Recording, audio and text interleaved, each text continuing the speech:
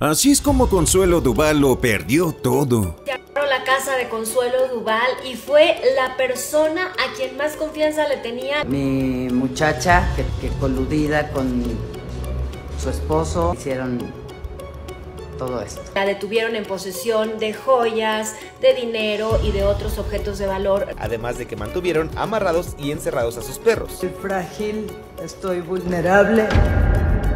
Recientemente, Consuelo Duval mostró su lado más indefenso en redes para compartir con su público, que había sido blanco de la delincuencia en su propia casa. Los primeros reportes señalaron que su empleada doméstica había sido manipulada a través de inteligencia artificial para entregar a los ladrones dinero en efectivo y varios objetos de valor. Sin embargo, fue la propia presentadora quien desmintió dicha versión. No, no fue inteligencia artificial, lo peor es que los malhechores mantuvieron encerrados a sus perros mientras perpetraban su fechoría, lo que sin duda terminó destrozándole el corazón.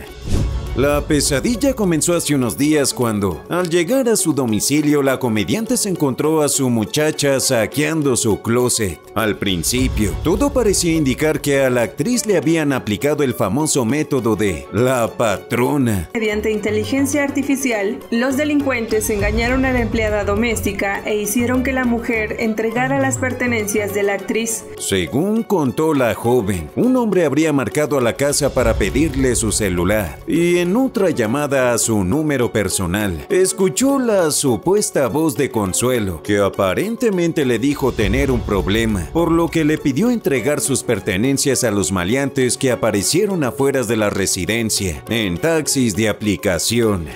Y aunque la joven juró y perjuró que los hechos habían ocurrido tal y como decía, un par de detalles hicieron dudar a la Duval, que de inmediato denunció con las autoridades a su mano derecha. Tras haber sido despojada de dinero y alhajas, la conductora posteó un comunicado en redes para informar a sus seguidores que la persona en quien más confiaba la había traicionado. Como era de esperarse, sus colegas y sus fans le brindaron su apoyo y de inmediato mostraron su preocupación por sus mascotas, pues los delincuentes mantuvieron encerrados a sus perros durante todo ese tiempo.